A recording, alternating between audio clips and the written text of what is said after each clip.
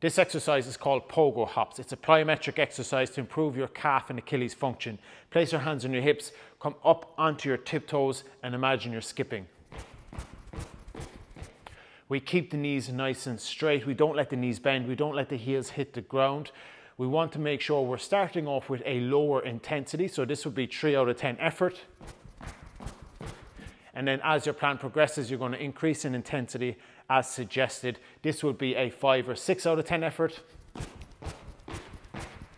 And then this would be seven or eight out of 10.